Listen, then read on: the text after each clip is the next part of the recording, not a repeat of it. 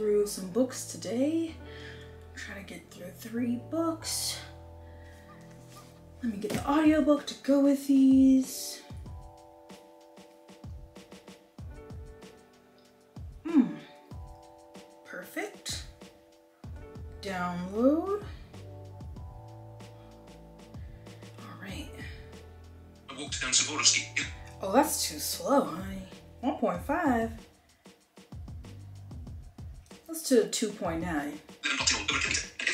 of cans or Ooh, that's too slow, child. Ooh, 3.5. There it is. on down bridges. And we live up. And then perhaps to say that, but for them, sometimes it's like a bit of a very, it's like, the man's very, it's not a bit of money, the man's, you can't so. We found us a bit too long, we realized, taking out the city, I think Pasha, we could get it, we should be outdoor instant, but he said Pasha was in the camp, that Fiona had read social. She should be out, uh, Perfect. from she from years ago. Whew, that was a good book.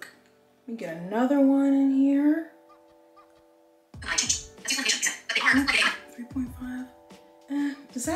It? That's the fastest it can go? That'll do. Yep. What?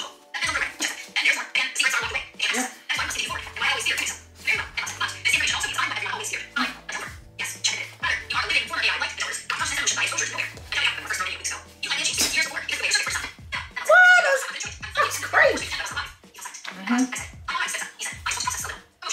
Ooh, that was a good book. Ooh, really knocking out some reading today. All right, one more. Oh, this one's a little thick. Let me see here. Yeah, let's right here. We'll go here. So go back. Is it, the, is it the fast? I really wish I could get a 4.0, but I guess this will do.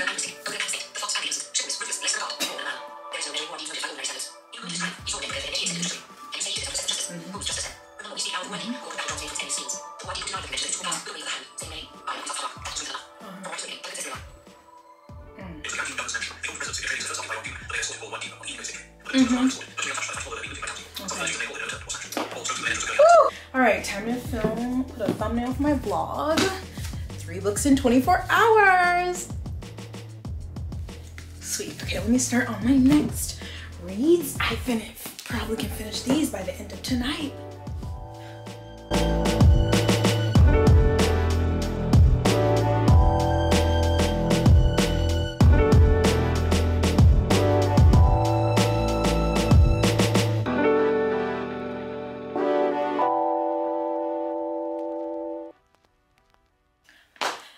Hi, hello, welcome or welcome back to my channel. My name is Jess, and you see the you see the thumbnail. You know what's going on. I'm talking about booktubers lying. What are they lying about? Reading.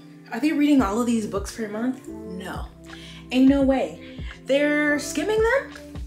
They're flipping through, getting some key phrases, some names, some key events, listening to audiobooks on 3.5 speed while they also do calculus and they grab a word here or there and then they go on a wrap up, Google what happened on uh, Goodreads, and they tell you about the book.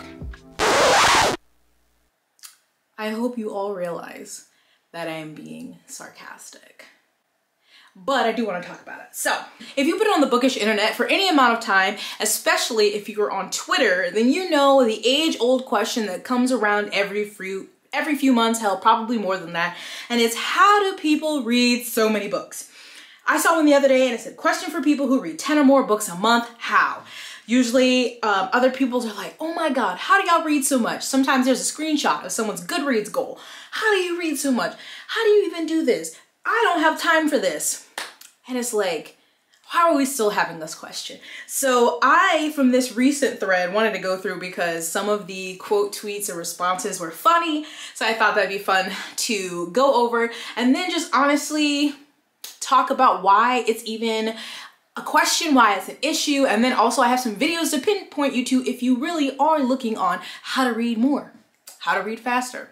Some people said, I don't have a social life. I don't have any other hobbies. Someone said mental illness. I have a lot of downtime at work. It's all I do for fun, girl. I don't know what to tell you. I read everywhere I go. Answers are varied. Some people were like le legitimately giving a response, like literally this is how I read, and some people were, you know, obviously being sarcastic. But it's like, one, why is it even a question? And I think it comes down to competition, obviously. I used to feel that way when I would see people post their wrap ups on Instagram and on BookTube, and it'd be like, "Oh my God, you read 20 books! Like, how is this possible?" And I, I mean, I never tweeted it on the internet. Why would I do that? But you know, I was working full time and I was reading, but I wasn't reading as much. And there are still people who do work full time, who do BookTube, who do other things, and they also read a lot.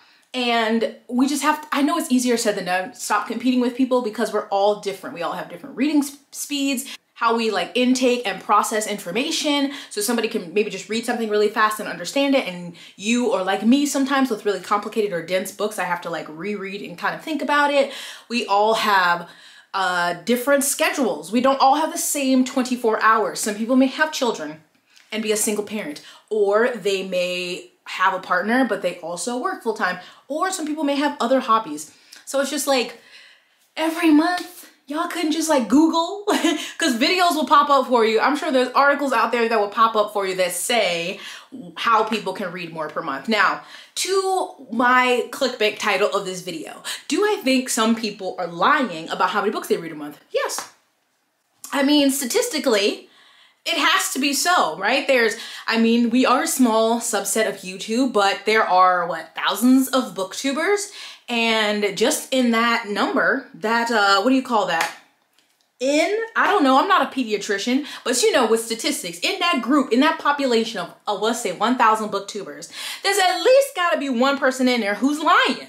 And I mean, you could probably know that if you've read a book, you watch someone's wrap up or review and you're like, is that is that really what happened in the book? And I don't think it's majority of people, but it just probably is that at least some people are lying about certain books they read or maybe they skim read or they listened to the audiobook but kind of tuned out.